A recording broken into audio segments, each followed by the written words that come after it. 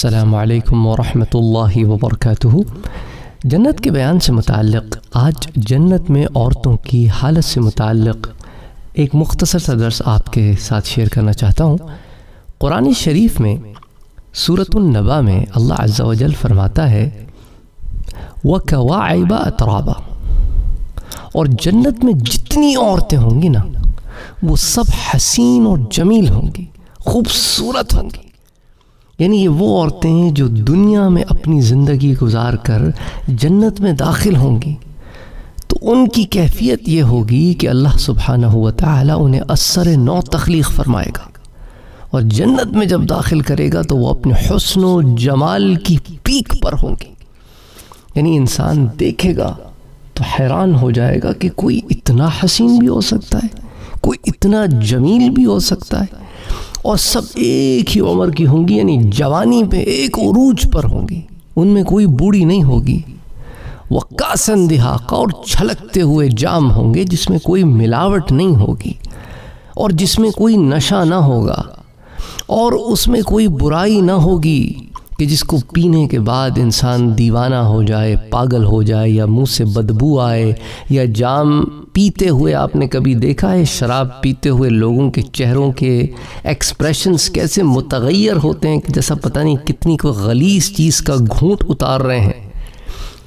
यानी उनकी तबीयत भी उस चीज़ को रिजेक्ट कर देती है। उनका चेहरा भी उस चीज़ के तासर को बयान करता है, लेकिन फिर भी बीते जन्नत में ये मामला नहीं है।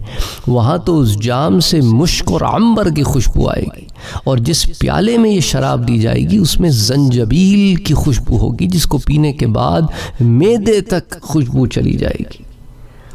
अल्लाह अकबर अल्लाह अकबर। तो इन दोनों चीज़ों को अल्लाह अज्जल ने साथ जो इकट्ठा ज़िक्र किया है कि यहाँ पर लोग कहते हैं ना, शराब और शबाब वो बड़े गलत माना में इस्तेमाल होता है।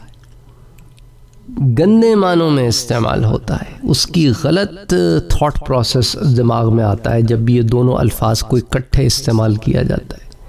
लेकिन जन्नत जो है ना, वो ऐसी जगह है कि जहाँ हर चीज़ पाक है, हर चीज़ हयादार है, अच्छी है। खूबसूरत है, अपने दर्जे कमाल पर है। इसलिए इन दोनों चीज़ों को साथ इकट्ठा जो ज़िक्र किया तो उसका भी यही है कि यहाँ पर तुम्हारी नज़र में ये चीज़ें मायूब हैं क्योंकि हराम है कि गैर औरत को देखना। किसी पे गलत निगाह डालना, किसी के साथ कोई गलत अमल करना आँखों का, हाथों का, हर किस्म के जना से दूर रहने का हुक्म है। ये नहीं कि ना करो का कि नहीं, करीब भी ना फटको। ला तकरीब, बिल्कुल करीब भी नहीं आना। और वहाँ पर अल्लाह अज्जल जिसको जो अता करेगा, वो उसमें मस्त होगा। उसके बाहर देखेगा नहीं वो। वह हया है। न औरत किसी को देखेगी, ना मर्द किसी को देखेगा।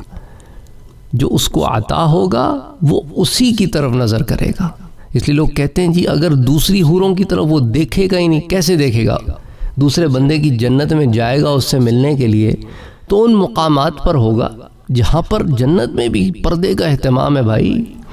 जन्नत कोई इस तरह की मखलूत नहीं है, जिस तरह हॉलीवुड की आप मूवीज़ में देखते होंगे कि जन्नत में चले गए, औरत मर्द सब साथ फिर रहे हैं, एक अजीब मेला लगा हुआ है, वहाँ पर भी जो है, डांस हो रहे हैं। ये वो हॉलीवुड वाली जन्नत है, जो उनके तखयल में है। लेकिन अल्लाह अज्जा वजल ने जो जन्नत मुसलमानों को बताई है ना, वो जन्नत क्या है? वो जन्नत हया वाली जन्नत है, पाक जन्नत है।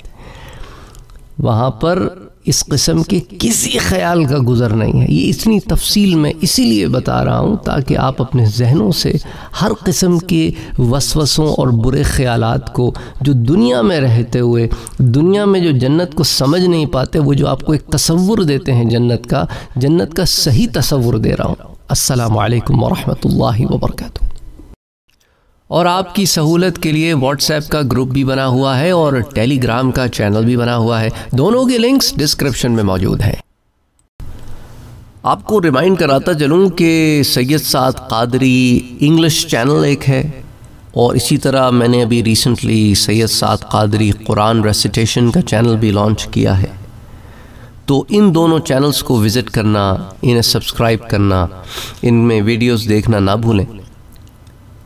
अगर आपने अभी तक हमारे चैनल को सब्सक्राइब नहीं किया है तो सब्सक्राइब का बटन दबाएँ, बेल के आइकॉन को प्रेस करें ताकि आपको रेगुलर नोटिफिकेशन अपडेट्स मिल सके और आप हमें हमारे लाइव सेशंस में भी ज्वाइन कर सकें। वीडियो पसंद आने की सूरत में लाइक शेयर और कमेंट करना ना भूलें।